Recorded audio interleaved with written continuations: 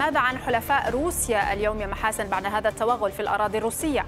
حلفاء روسيا راوية لطالما وقفوا معها قولا وفعلا وبطبيعة الحال اليوم أيضا حلفاء موسكو الاستراتيجيون لا يخذلونها فبيلاروسيا وكوريا الشمالية تتأهبان لدعم روسيا بعد التوغل الأوكراني في كورسك.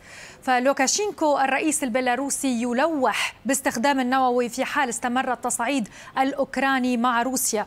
ناصحا كييف بالجلوس على طاولة المفاوضات لأنها ستدمر إن رفضت. أوكرانيا تحاول وتريد استفزاز روسيا لاستخدام الأسلحة النووية يقول الرئيس البيلاروسي لوكاشينكو.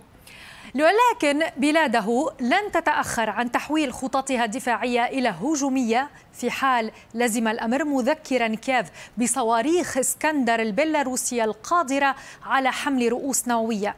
لوكاشينكو كشف أيضا أن أوكرانيا نشرت أكثر من 120 ألف جندي على حدودها مع بلاده وأن مينسك نشرت قرابة ثلث قواتها المسلحة بطول الحدود أي 12 ألف جندي.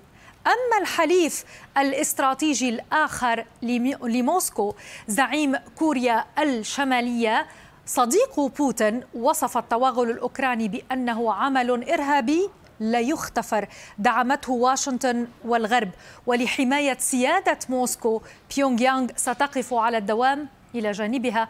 وهذا ما قامت به كوريا الشمالية منذ بداية العملية العسكرية الروسية في أوكرانيا.